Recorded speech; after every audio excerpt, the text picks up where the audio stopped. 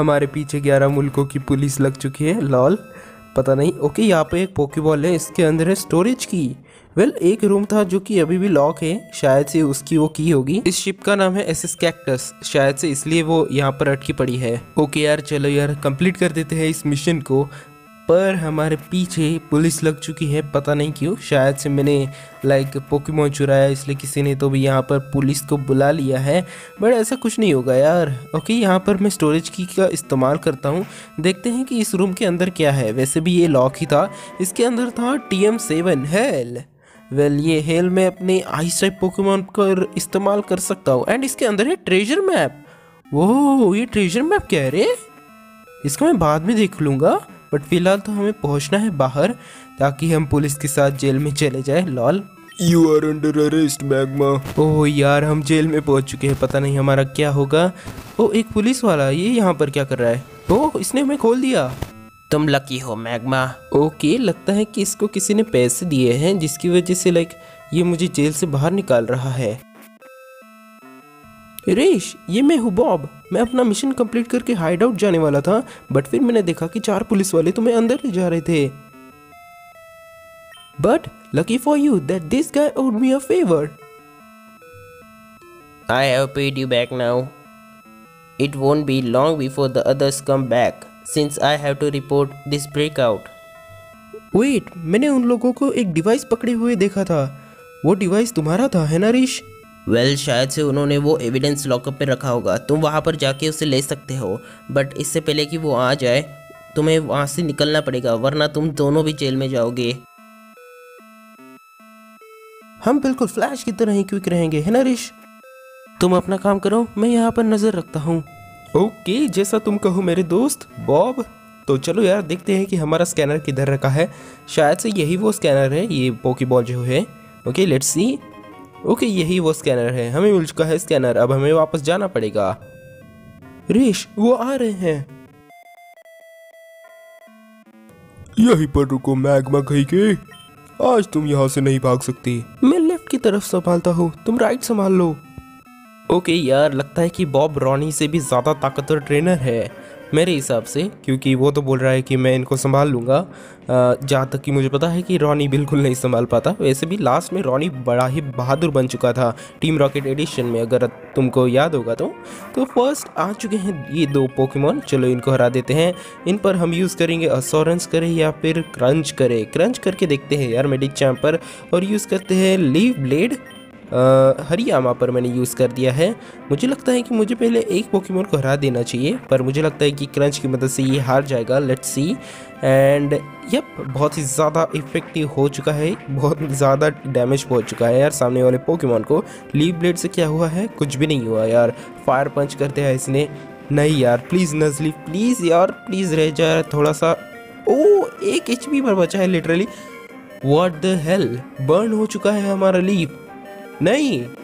Oh hurt by burn गया यार leaf कोई बात नहीं लीफ ओके हमारे नए पोकेमोन स्पील जिसका मैं नाम बदलने वाला हूँ, जल्द से जल्द, और रखने वाला हूँ ओशा अफकोर्स यार ओशा ने ही ये गेम मुझे रिकमेंड की थी एंड ये गेम बहुत ही अच्छी है। तो चलो यार यूज़ करते हैं डिग का इस्तेमाल कर दिया है मैंने एंड ब्राइन का इस्तेमाल करें।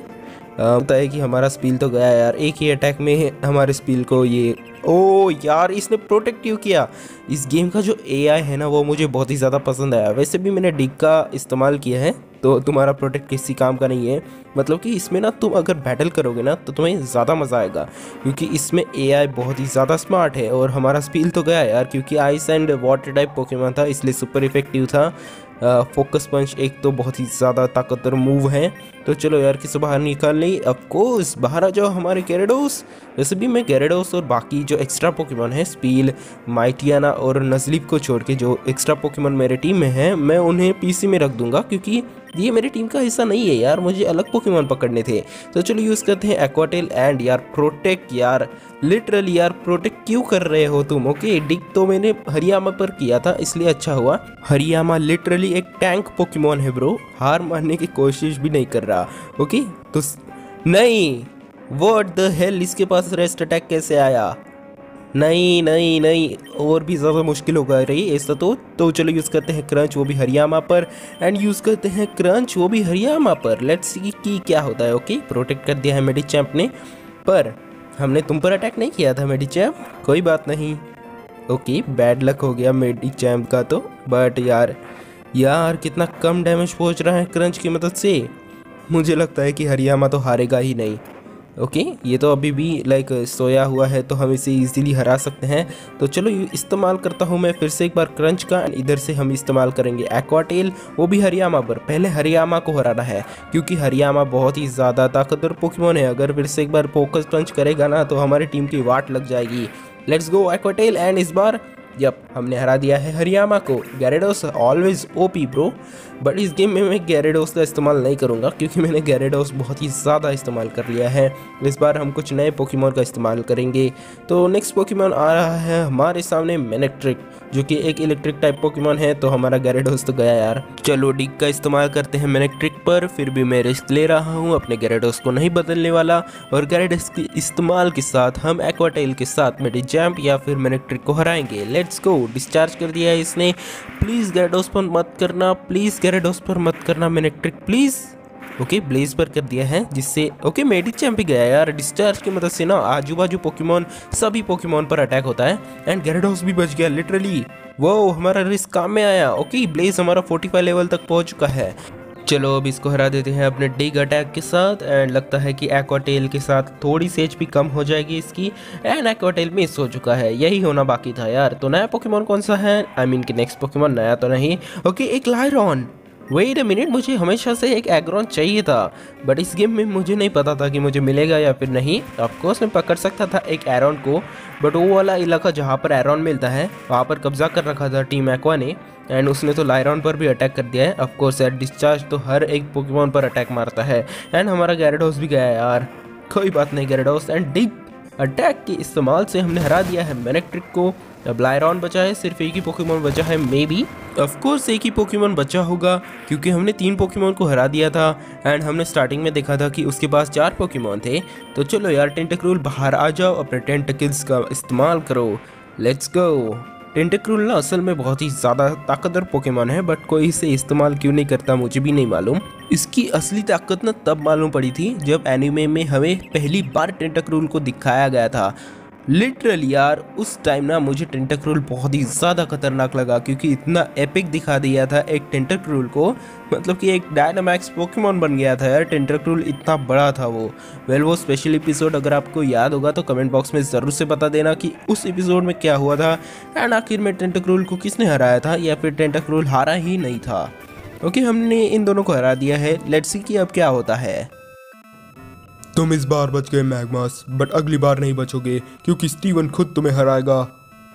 ये तो बहुत ही ज़्यादा इंटेंस था। वेल well, इस बार मैंने तुम्हारी मदद कर दी बट अगली बार मैं ये रिस्क नहीं उठाने वाला क्योंकि मैं नहीं चाहता कि मैं स्टीवन से हारूँ। Good luck buddy okay okay guys हमने इनको हरा दिया है। हमें मिल चुका है एक नया स्कैनर आई मीन कि नया तो नहीं है बट हमें मिल चुका है स्कैनर तो अब हम जा सकते हैं किसके पास। ऑफकोर्स ताबिता के पास एंड हमारा प्रमोशन ज़रूर से मिल जाएगा इस बार मे बी तो यार, आज के लिए बस इतना ही। मिलते हैं अगले एपिसोड में। तब तक के लिए सायनारा एंड बाय बाय अगर अब तक बेल आइकन नहीं दबाया है आई मीन कि सब्सक्राइब नहीं किया है तो कर दो यार। 15 के करना है जल्द से जल्द। मैं हूँ सिकंदर। मन के अंदर है भरोसा, सदा मुझको राह दिखाता। जो मेरे दिल जान में है, मुझे लक्ष्य तक पहुंचाता है। मज़ा आएगा खेलो, बेहतरीन दाव शुरुआत से पहले फिसल के गिर जाओ।